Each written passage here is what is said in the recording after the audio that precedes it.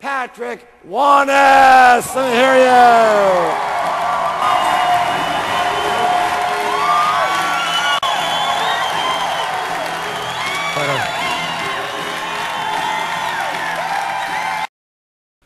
And I'm going to need your help. But I have to warn you that every time and any time that I'm on this stage, I am going to be challenging you. I'm going to be testing you. I'm going to be pushing you. All right. How many of you saw the movie A Few Good Men with Jack Nicholson? Okay. So you all know the famous scene when Tom Cruise's character is pushing Jack Nicholson, Jessep, and saying to him, I want answers. And he says, you want answers? He says, I'm entitled.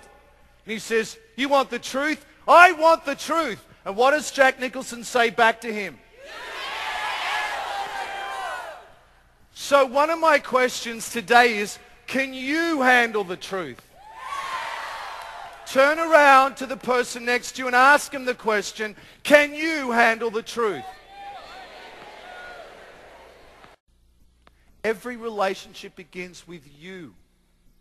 You need to unlearn all the lies, all the crap, all the BS that everyone taught you. Because when you were born, when?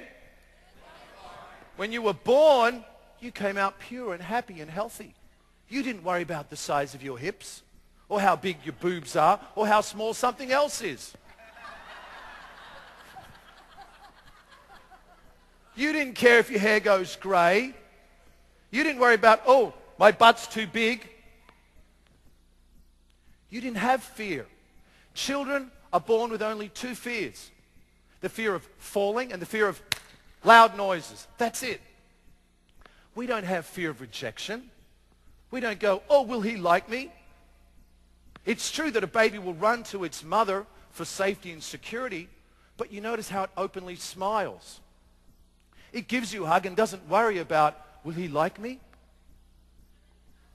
We don't go through that. Who taught you that? Who taught you to doubt yourself? Your parents, and that's what we're going to work on in a moment. If it wasn't your parents, it was your adult caregivers or it was your siblings. But it all happened in your first zero to eight years. There are two parts to mind. There's the conscious mind and the subconscious mind. You are basically born with a subconscious mind before your conscious mind evolves. That means the first five to eight years, you're like a sponge and you're absorbing everything. What are you doing? You're absorbing everything that you see, everything that you hear, and everything that you experience. And from that, you develop your belief systems. Unfortunately, your teachers also had terrible teachers.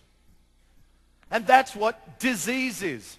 That's the only real part of you that is hereditary. The way that your parents pass down their pain, their torture, their crap to you. And now you're going to pass it on to someone else.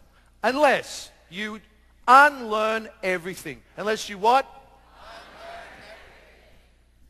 So let's start to find out who are you?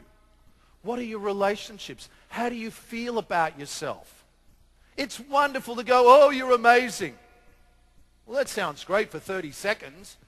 But if I get you out there and put you one-on-one, will you feel that inside? Will you look me in the eye and say, Patrick, I'm amazing? Will you say it with arrogance, with confidence, or with real congruency, with real belief? That's the goal of this entire seminar.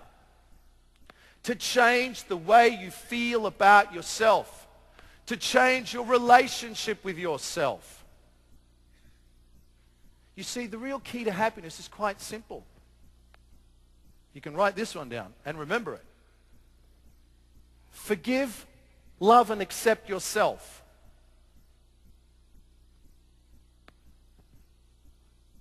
Step two, forgive, love, and accept everyone else.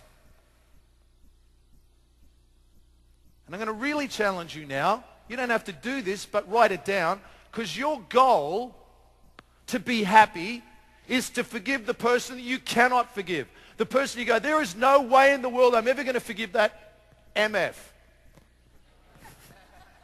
or PF or DF or whatever.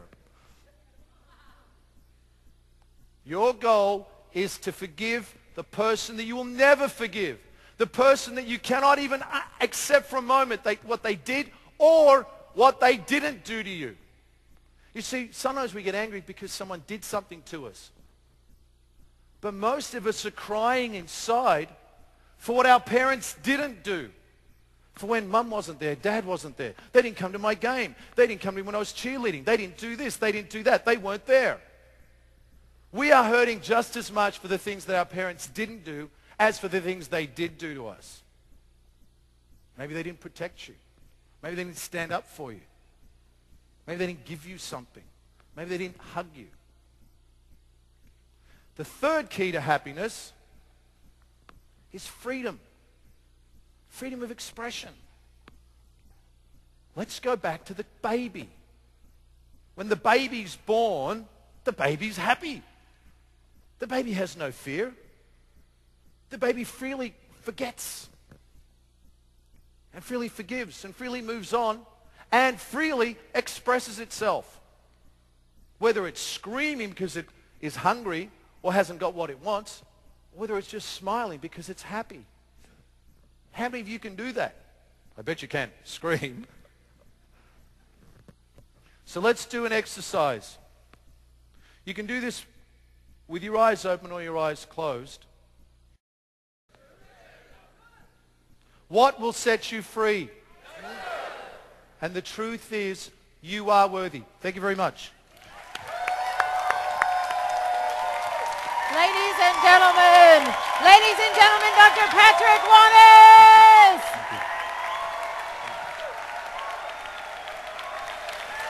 Dr. Patrick Wanis, everybody. You. you are worthy. Thank you. Thank you. Yes. Thank you. Thank you. My pleasure. Woo! Was that hot or what?